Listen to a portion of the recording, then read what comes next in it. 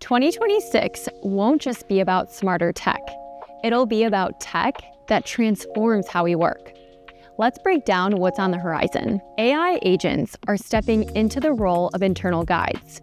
Think of them like your company's concierge, answering questions, helping with onboarding, and making HR docs more accessible and useful. At Impact, we have our own HR bot named HRD that has saved over 1,500 hours across the organization while meeting 85% of users' expectations and boasting an ROI of 348% in the first year.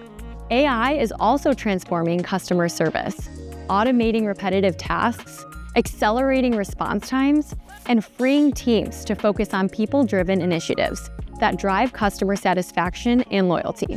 This shift isn't just about efficiency.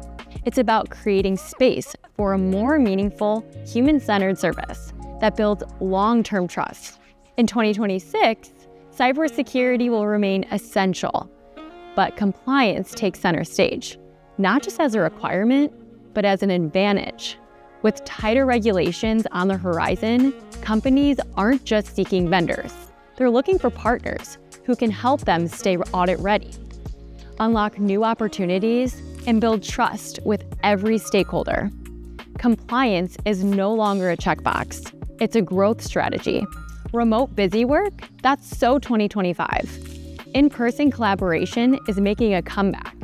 Mid market US firms are thriving thanks to reshoring, clear trade deals, and AI tools, leveling the playing field. The result? Faster innovation cycles, tighter collaboration, and a renewed focus on building things that last.